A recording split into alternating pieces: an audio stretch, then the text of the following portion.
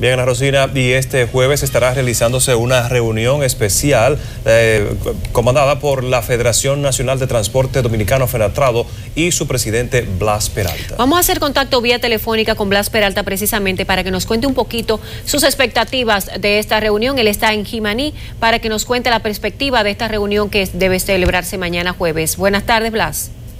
Sí, buenas tardes todos ustedes, buenas tardes, país a su orden. Gracias. Cuéntenos, Blas, cuáles son las expectativas de la reunión, porque tenemos ya un paro indefinido desde hace varios días, pérdidas y continuos problemas allí en la zona fronteriza con el, comercio con Haití. ¿Cuál es la, expectativa de la reunión de mañana?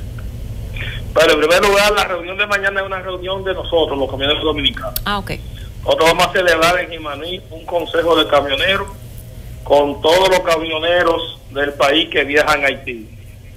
Para analizar la situación por la cual estamos pasando. Todavía el gobierno haitiano no ha dado la garantía de que se puede cruzar Haití. Hoy amaneció la cosa peor que nunca, porque los policías haitianos le entraron a bombazo limpio a un grupo de haitianos que estaban de este lado de la frontera y también a los militares dominicanos y a la Policía Nacional. Y según me dice el representante de nosotros allá, eso daba chiste viendo cómo la Policía Nacional le salía huyendo a la bomba lacrimógena y a los tiros que le tiraba la policía haitiana. Y los guardias de, de Cefrón escondidos detrás de la pared.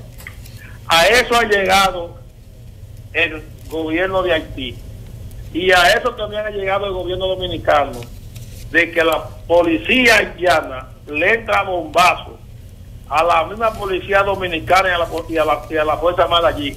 Aunque el jefe de la policía lo quiera negar, le está hablando Blas Peralta, no la mentira. La Policía Nacional salió huyendo allá en Jimaní y también los guardias de Cefrón para evitar un problema con la policía haitiana. Entonces, bajo esa situación, Penatrado no va a entrar a Haití se tenía programada una reunión para hoy a las 10 de la mañana con los camioneros haitianos y los camioneros dominicanos en Jimani y no se pudo resolver porque los camioneros haitianos van a cerrar la frontera de aquel lado en solidaridad con lo que exigen los camioneros dominicanos. Mañana es muy posible, según se a decir, que el gobierno haitiano lanza un comunicado diciéndole a la República Dominicana y al mundo de que los camioneros dominicanos tendrán protección en Haití. Pero es un comunicado. Con comunicado no se garantiza la seguridad en Haití. La seguridad en Haití se garantiza un poco poniendo militares, custodiando los camioneros dominicanos, llevándolos a su lugar donde va la carga y retornarlos sano y sano de este lado.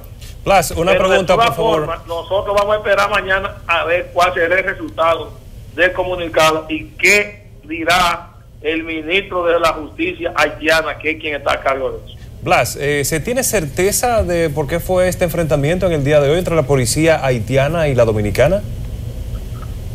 Resulta que hoy se está celebrando el mercado mm. allá en, en Jimaní y la, y la Cefrón ha querido controlar que no aprovechen el mercado para que entre una avalancha de ilegales. La policía ya entonces le entró a bombas, bombas lacrimógenas, ¿entiendes? Y la, y la guardia de aquí tiró tres tiritos y después salieron huyendo, que es lo que me dice los que están allá. Blas. Yo lo creo que es así. Una última pregunta, Blas. Eh, la sugerencia que usted ha hecho de los centros de acopio del lado dominicano para evitar esto, para que el intercambio comercial pueda facilitarse y no exponerse tanto, ¿no ha sido acogida todavía? ¿Por eso ustedes mantienen el paro? Bueno, nosotros hemos propuesto que se haga un centro de acopio, donde nosotros llevemos la carga hasta ese centro de acopio y ahí para allá la lleven los haitianos. Pero ¿qué resulta? Que para construir centro de acopio eso tiene su tiempo. Sí. Y además el costo operacional sube más de un 30%, porque la carga y la descarga viene siendo más cara que el transporte. El de montar una carga de una patana a otra es más costoso que el transporte de carga. Blas, y así llegaría entonces los productos que transportamos en más de un 30 o 35% al consumidor haitiano. Bien, Blas, eh, perfecto. Eh, ¿Se tiene cuantificada las pérdidas eh, por este por este concepto, este por la paralización de, de los camioneros de, no entrar a Haití? Hace una semana que los empresarios dominicanos valoraban en unos 10 millones de dólares la pérdida, sin, sin la pérdida de nosotros los transportistas. Bueno, esperemos, Blas, que esta reunión de mañana surta algún efecto y que ustedes de alguna manera también tengan respaldo de las autoridades dominicanas que usted dice que ante el enfrentamiento de hoy parece que se escondieron. Muchísimas gracias, Blas, y por supuesto aquí en NSDN estaremos pendientes del desarrollo de esto.